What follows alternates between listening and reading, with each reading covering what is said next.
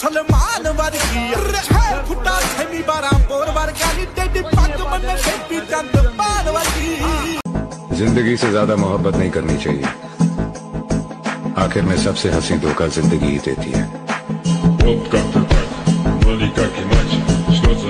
मेरी गल्ला खाया रम फ़िल्म के सुट्टे लाया